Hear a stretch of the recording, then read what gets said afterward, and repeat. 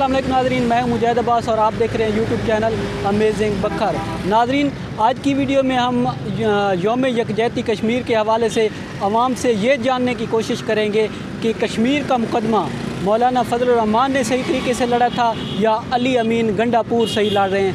तो हमारी ये वीडियो देखने से पहले आपसे गुजारिश होगी कि हमारे चैनल अमेजिंग बकर को सब्सक्राइब करना ना भूलें। अस्सलाम वालेकुम। वालेकुम सलाम।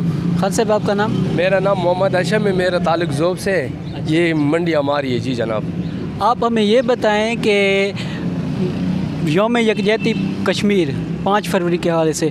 आप हमें ये बताएँ कि मौलाना फजलरहमान ने कश्मीर का मुकदमा सही तरीके से लड़ा था या अब अली अमीन गंडापुर सही तरीके से लड़ सर हमारे हिसाब से और जैसे ख़बरों में सुनने में आ रहा है मौलाना साहब बेहतर था और जैसे मीडिया वाले बता रहे हैं कि मतलब अली अमीन गंडापुर ने और पी वालों ने तो कश्मीर भेज दिया था। अच्छा। तो ये तो हमारे हाथों से निकल गया था। तो हमारे हिसाब से जिस वक्त मौलाना फजलरहमान चल रहा था तो ये इशू नहीं थी ये धमाके और ये लॉकडाउन और ये करना ये पाबंदियाँ और आलमी अमीन गंडापुर के दौर में।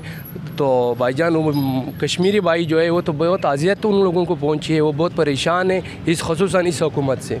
शुक्रिया भाई। ठीक है जनाब बात तो यह ना फजलरहमान के दौर में तो पता भी नहीं था भाई कश्मीर कमेटी है या नहीं है। जब से इमरान खान आया है तो इसने अच्छा मुकदमा लड़ा है कश्मीरियों का।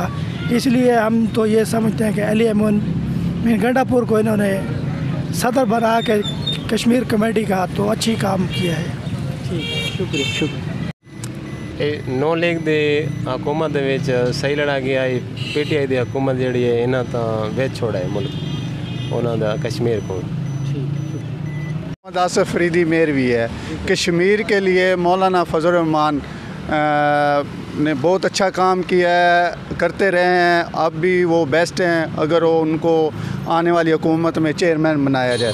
अलीपुर, गंडापुर, अली अली गंडापुर जो हैं, वो तो एक प्रोफेशनल बंदा है। वो तो उस, वो इस कश्मीर के मसले में तो बिल्कुल नील है। उसको तो ऐसे बनाया गया है कि एक फार्मेलिटी पूरी की गई है। तो ये लोग तो लूटने के लिए आए हैं। उन्होंने तो कश्मीर का तो सत्यानाश कर दिया। कोई खारजा पुलिसी हो के लिए उन्होंने कुछ काम नहीं किया और ऐसे ही इमरान खान साहब ने अपना कैबिनेट की खाना पूरी करने के लिए बना दिया है ताकि हमारी हुकूमत का वो जो सिलसिला है वो चलता रहे। ठीक शुक्रिया।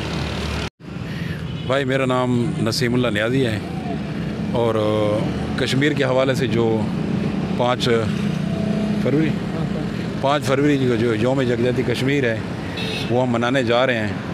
और जो आपने पूछा है कि अली अमीन और मौलाना फजल फजलरहमान में क्या फ़र्क है। मौलाना फजलरहमान और अली अमीन में दिन रात का फ़र्क है।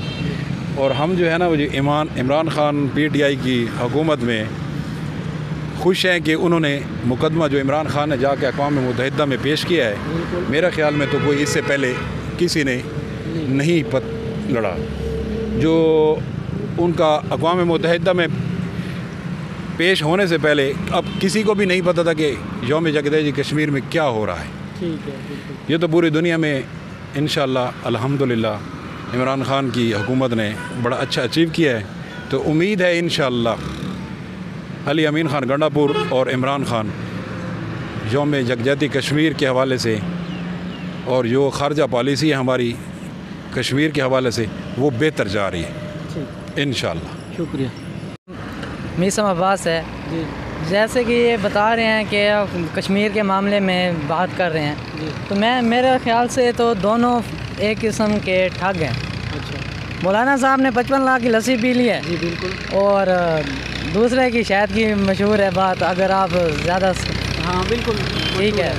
तो फिर इन दोनों का कोई फ़ायदा भी नहीं है। बंदा ऐसा है जो करेक्टर वाइज और बाकी भी स्ट्रॉन्ग हो। ठीक है। ठीक है कौम की खिदमत करने वाला हो। आज तक जितने भी आए हैं सबने कौम को लूटा है। ठीक है।